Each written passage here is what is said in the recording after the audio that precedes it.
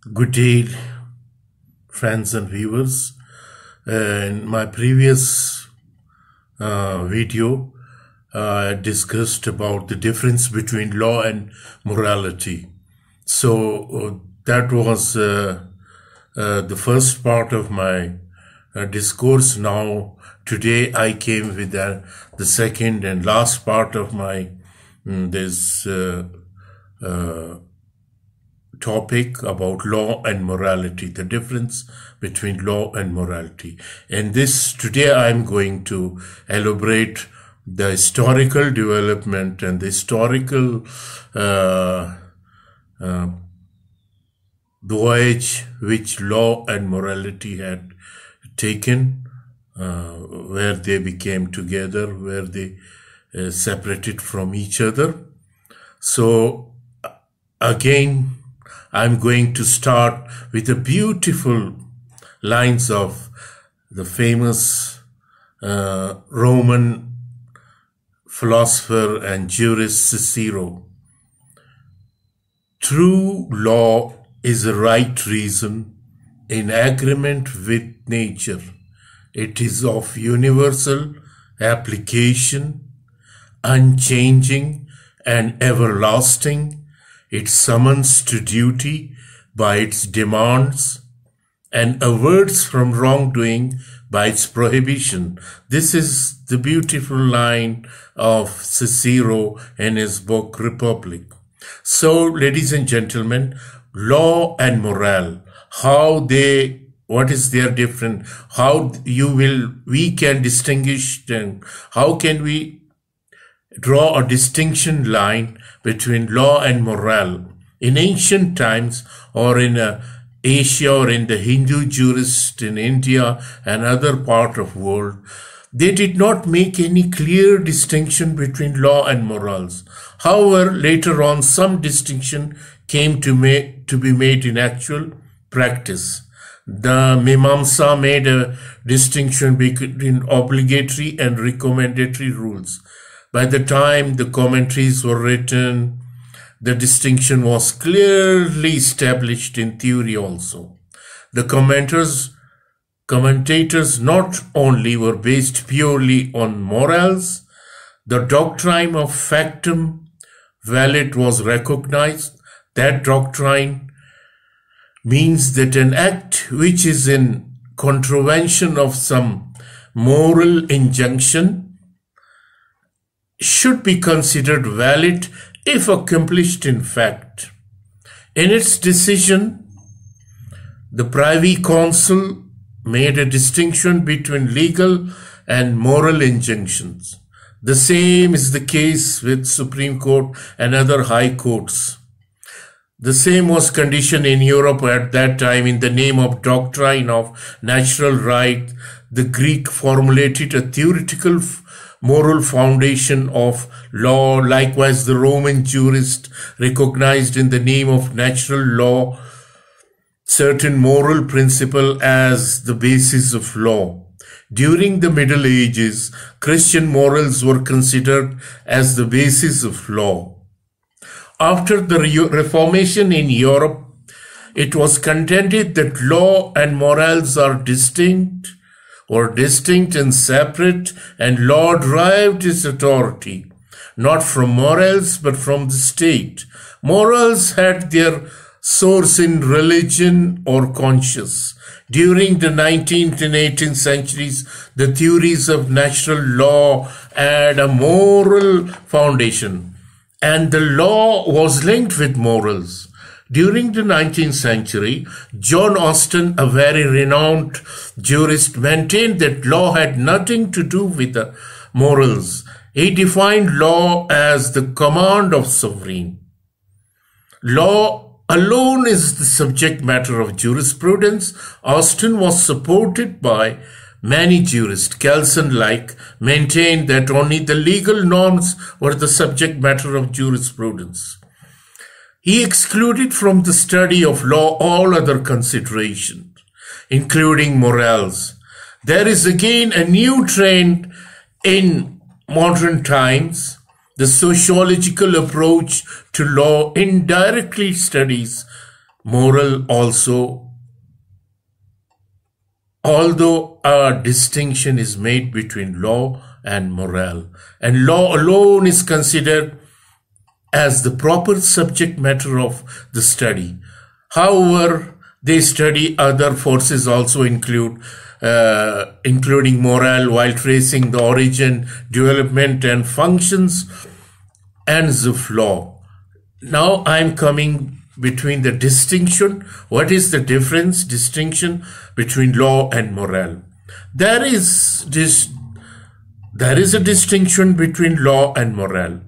Vinogradov writes, law is clearly distinguished from morality. The object of law is the submission of individual to the will of organized society, while the tendency of morality is to subject the individual to the doctrine of his conscience.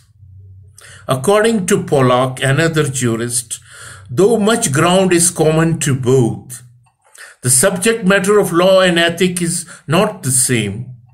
The field of legal rules of conduct does not coincide with that of moral rules and it is not included in it and the purpose for which they exist are different.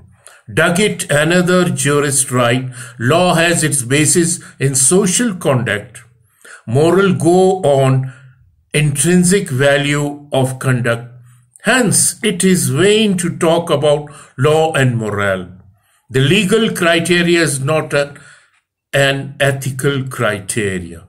According to Paton, a very famous um, writer of jurisprudence, morals or ethics is the study of the supreme good. Law lays down what is convenient for that time and place. Ethics concentrates on individual rather than society. Law is concerned with social relationship of man rather than individual excellence of their character. Ethics consider motive as all important. Law insists merely by conduct with certain standard and seldom worries for motive. But it is too narrow to say that ethic deals only with the individual or that ethic treats only of the interior and law only of the exterior. Well, for ethics, the judging acts must consider the consequences and uh, the consequences that flow from them. Moreover, ethical duties of man cannot be considered without considering his obligation to his fellow uh, uh, or his place in society. Pound, Roscoe Pound, another jurist says, law and morals have a common origin, but they diverge in their development. Bentham says, a very famous philosopher, in a word, law has just the same center as morals, but it has by no means the same circumference. According to Korkunov, the distinction between law and morals can be formulated very simply. Morally furnishes the criteria for the proper evaluation of the, our interest. Law marks out the limit within which they ought to be confined. Ardent writes that there are four points of uh, this difference between law and moral. Number one is in law, man is considered as a person because he has a free will. In moral, we have to do with determining the will towards the good. Number two, law consider man only insofar he lives in community with others. Moral gives a guide to lead him even if he were alone. Number three, law has to do with acts insofar as they operate externally. Moral looks to the intention of man, the inner determination and direction of the will. Law governs the will so far as may be external coercion. Moral seeks a free self determination towards the good. From the above four point, uh, it follows that whereas legal rules do require external conduct and are indifferent to motives, intention, or other internal accomplishment of conduct, moral do not require any specific external action, but only a goodwill or proper valuation, intention, or motive. If a person does do something, uh, does uh, something forbidden, uh, my moral rules or for or fails to do what they require, the fact that he did not unintentionally and in spite of every case is an excuse from moral blame. A legal system or custom may have rules of strict liability under which those who have violated the rule unintentionally and without fault may be liable for punishment. Now, H.L.A. Hart, another professor of law, writes that the vague sense difference between law and morale is connected with contrast internality of the one and the externality of the other. Is too recurrent a theme about law and morale to be altogether baseless and cannot be dismissed. He refers to four cardinal features which are designed uh, to distinguish morality not only from legal rule but also from other forms of social rules. Those four futures are important. Immunity from deliberate change, voluntarily, character of moral offenses and form of moral pressure. Importance. As regard importance, the essential feature of any moral rule or standard as something of great significance may appear vague. It may be manifested itself in a number of ways. In a simple fact that moral standards are maintained against the drive of a strong passion, which they restrain at the rate of sacrificing, consider personal interest, and the serious form of social pressure exerted not merely to secure conformity in individual cases, but to secure that moral standards are conveyed as matter of course to all in society. In general recognition that if moral standards were generally accepted, far, far-reaching and distasteful, Changes in the life of individual would occur in contrast with moral, the rules of deportment, manners, dress, and a few rules of law occupy a relatively low place in the scale of serious importance. They may be tiresome to follow, but they do not require such sacrifices. No great pressure is put to obtain conformity and no great alternation in other areas of social life would follow if they were not observed in. Much of importance is ascribed. So, immunity from deliberate change. It is correct to say a legal system that new rules can be inserted and old ones change or repeal, but there are some rules which may be safe from deliberate change through a written constitution limiting the competence of the supreme legislature.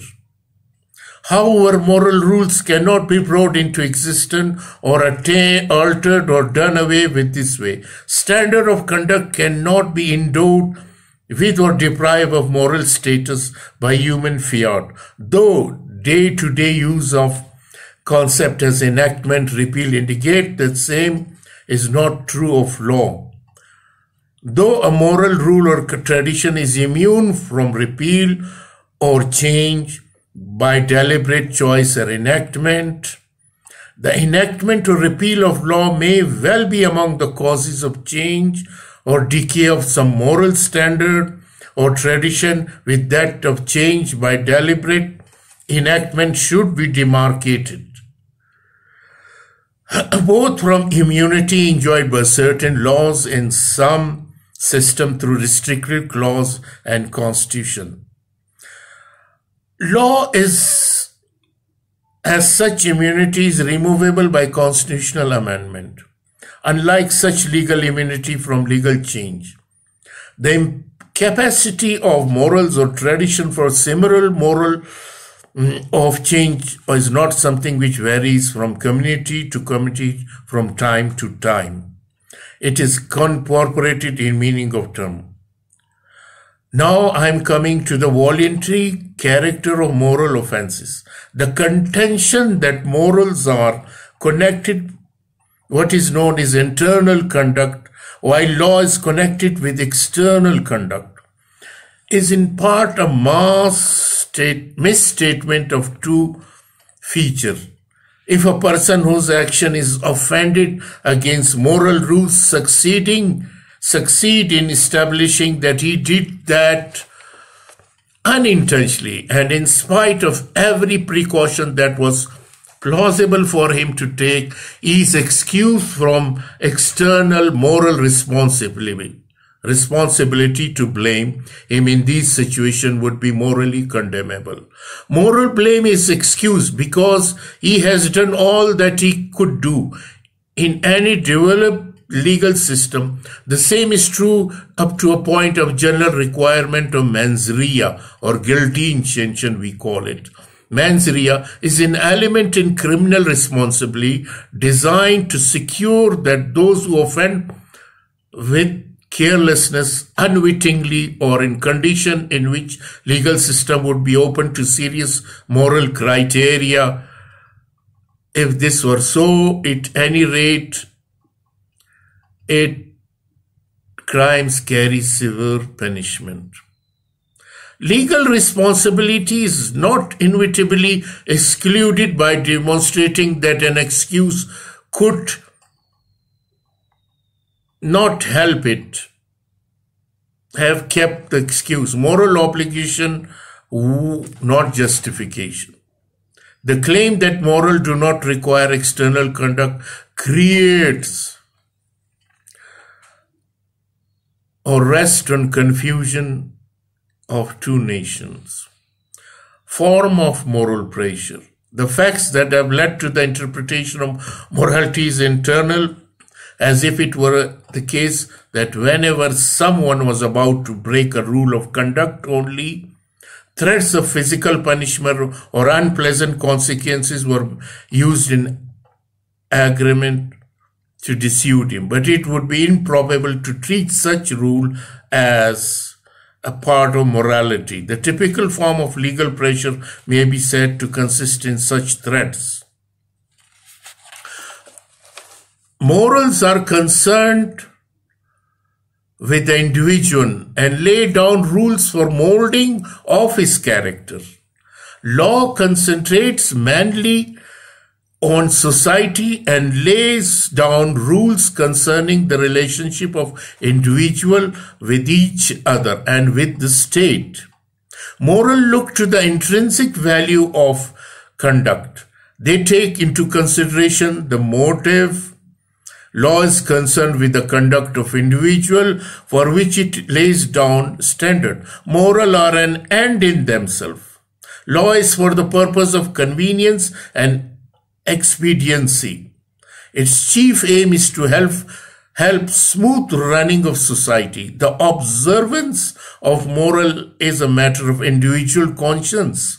Law brings into the picture the complete machinery of state where the individual submit himself to the will of the organized society and is bound to follow its rules. Generally, morals are considered to be of universal value, but law varies from society to society, time to time, and place to place laws and morals differs in their application. Morals are applied after taking into consideration individual cases, whereas the application of law is uniform. Now the relationship between law and moral. A study of various legal systems makes it clear that law and morals have had a long union, long union with occasional desertion and judicial separation, but have never been completely divorced. There are indeed many different types of relation between law and moral, and there is nothing that can profitably be singled out for study as the relation between them. The law of Stammler is that of jurisprudence depends much upon moral ideas as just law is need of ethical doctrine for its complete realization. Positive law and just law correspond to positive morality and rationality grounded ethics. There is no difference, and if any, it is only of the difference of manner which desire of justice present itself. So, another jurist, H.L.A. Hart, is that there are many different types of relation between law and moral. There is nothing which can profitably single out for study as the relation between them. Roscoe Pound, another legal jurist, he described four stages in the development of law with respect to morality. Number one is the four stages is a stage of differentiate ethical custom, custom of popular action, religion and law, analytical jurists call it a pre-legal stage in the development of law and morals were the same thing. They were the two faces of the same coin. The second stage is of the strict law, codified or crystallized, which in time is outstripped by morality and has not sufficient power of growth to keep abreast. The third stage is of infusion of morality into a law and reshaping it by moral. In this stage, both ideas of equality and natural or potential agencies of growth. The final stages of the conscious constructive law making, the maturity of law in making moral and morality are of lawmaker and law alone is for the judge. Moral is the basis of law, moral as the test of positive uh, law, and moral as the end of law. So, as regard uh, nature, which is mostly nature of supernatural fear, when the state came into being, it picked up those rules which were important for the point of view of society and those whose observation could be secured. The state enforced those rules and they came to be called law. Thus, law and morals have a common origin, but they came to differ in course of development. Hence, it can be said that law and morals have a common origin but diverge in their development on account of their common origin, many rules and common are both law and morals. Though law and morality are not the same as, as many things may be immoral, which are not illegal. Yet the absolute divorce of law from morality would result in fatal consequences. Morals are not the basis of all legal rules. They are the number of legal rules which are not based on morals and some of them are even opposed to moral.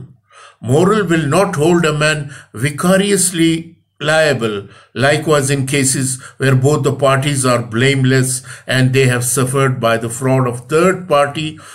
Law may impose the loss upon the party which is capable of bearing it if, but that may be approved, not approved by morality moral as a test of law.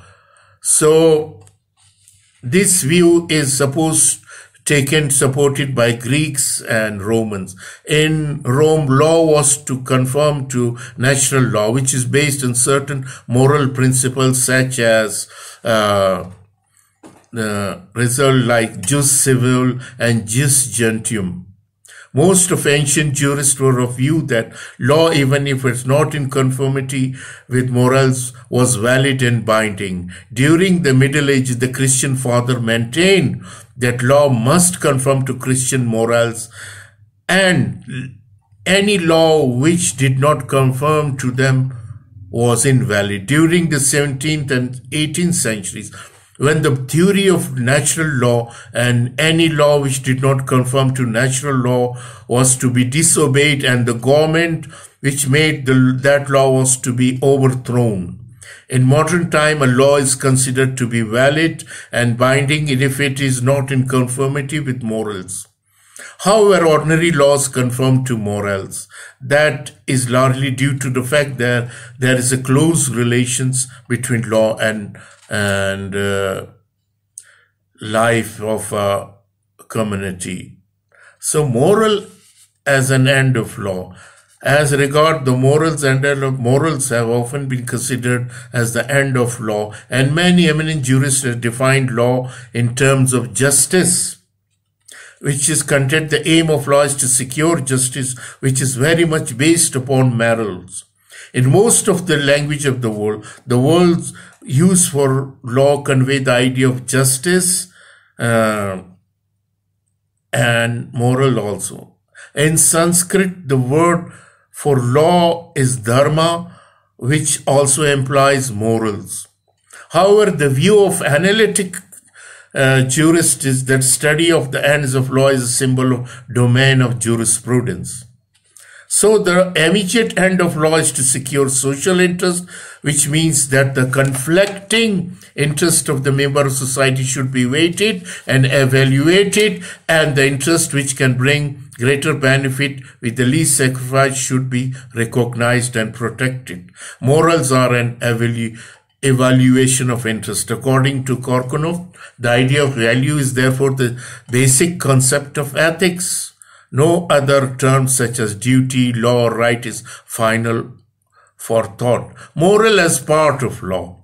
It is contended by some writer that even uh, if law and moral are distinguishable, morality is in some way an integral part of law or of legal duty. Morality is secreted in the interest, inter, interstices of a legal system, a legal enforcement of moral.